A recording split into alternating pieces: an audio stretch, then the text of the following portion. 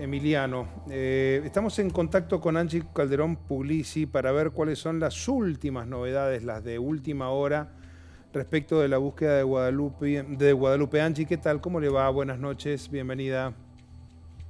Hola, buenas noches Fernando, buenas noches Emiliano. Gracias por su tiempo. ¿Usted puede confirmar que la policía de San Luis busca a Angie en Mendoza?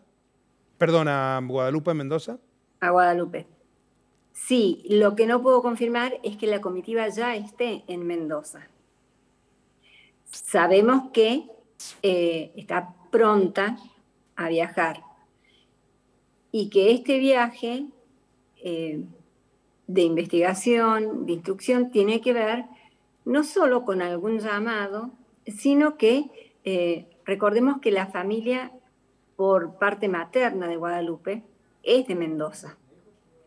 Entonces también se buscan establecer algunos vínculos allí. En la marcha de hoy, del mediodía, tanto la mamá de Guadalupe como Mana, su cuñado, una prima, fueron citados por la fiscal Virginia Palacio Bonela eh, para prestar declaración nuevamente.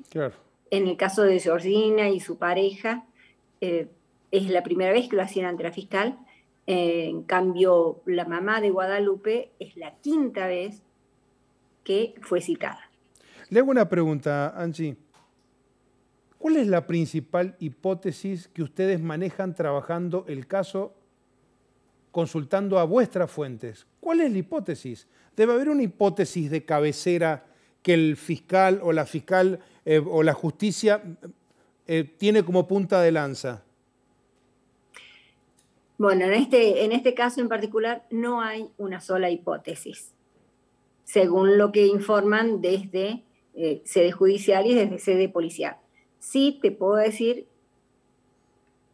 y que nos sirve como para tomar como un hilo conductor de, la investigación, es que todos los domicilios que han sido allanados, allanados eh, sí, o donde se han realizado inspecciones oculares, eh, están relacionados con la venta de droga.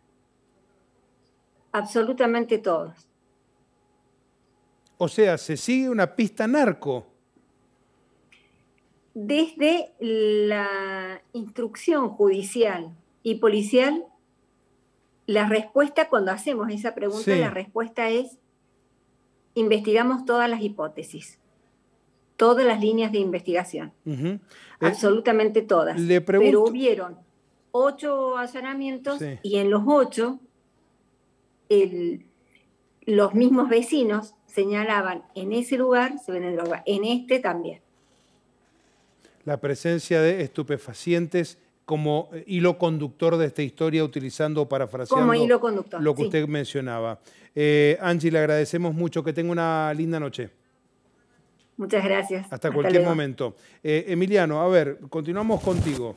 Eh, respecto de lo que nos decía nuestra colega en San Luis y lo que vos habías podido indagar en el transcurso de la tarde, eh, nosotros hemos consultado también otras fuentes.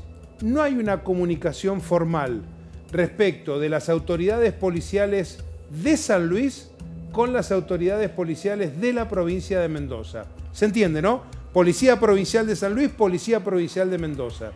Pero hay algún elemento que podría llegar a justificar esta falta de comunicación, al menos hasta las últimas horas de esta tarde, antes de arrancar este noticiero, y que tiene que ver con el tipo de delitos que se investigan, que son de índole, entre otros, federales. Por ejemplo, la pista narco o, por ejemplo, la pista de trata de personas. Bien podría una comisión de la provincia de San Luis trabajar con la justicia federal local, ¿se entiende? Y ser la justicia federal local la que arbitre el resorte del auxilio de la policía de la provincia de Mendoza.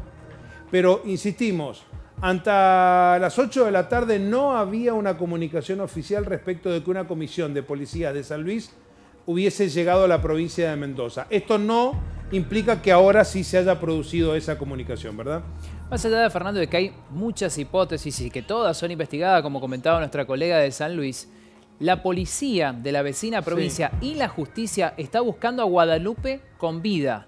No hay indicios que le permitan suponer de que está muerta y por eso es que se le está buscando con vida. Y las hipótesis entonces son el secuestro extorsivo, puede también ser un, caso de trata de persona o algo vinculado al narcotráfico. Son tres tipos de delitos que investiga la justicia federal. Por eso es que la policía de San Luis, sin establecer una comunicación protocolar con la policía de Mendoza, inició esta investigación con una comitiva de avanzada y seguramente en las próximas horas una comisión especial de la Policía de San Luis que llegará a Mendoza para realizar algunos procedimientos, tal vez similares a los que ha realizado en San Luis, lamentablemente sin ningún tipo de resultado, porque a esta hora todavía no hay ningún dato certero sobre el paradero de la pequeña Guadalupe. 15 días completos y sin novedades. Gracias, Emiliano.